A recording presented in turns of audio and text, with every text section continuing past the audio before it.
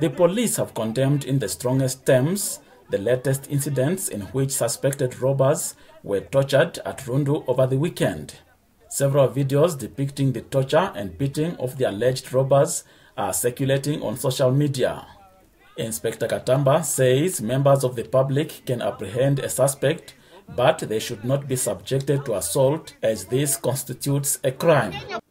According to Criminal Procedure Act, uh, Section 42 and Section 47, it's stating that a, a member of a public, you can arrest a person who is committing a crime at your, uh, in front of you, you can arrest. And immediately after arrest, you hand the person uh, to the nearest police station or you call the person immediately, then you hand the person or the suspect to the police. The police, they will took now the investigation and continue to deal with that person.